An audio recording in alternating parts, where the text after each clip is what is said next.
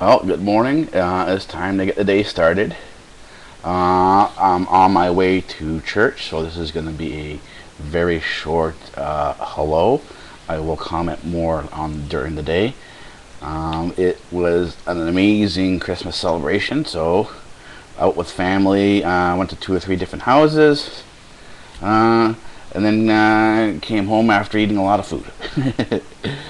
I was thinking though uh, during the day that uh, given this is uh, 2012, that I might produce a series uh, on astronomical calendar so you can see what the fuss is about.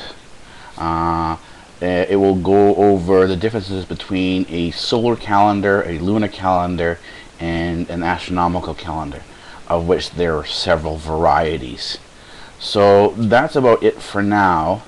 Uh, you can watch these uh, documentaries that I will be producing on uh, the YouTube channel Physics TV. Uh, we are connected now.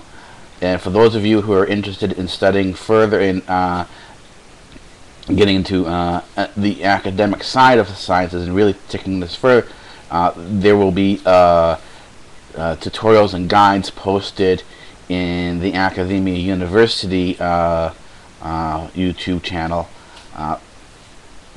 so that you can uh, take this from simply a passive uh, entertaining point of view to the next level where you are actually studying. Alright, that's it for, for now, and I'll talk to you a little bit later on.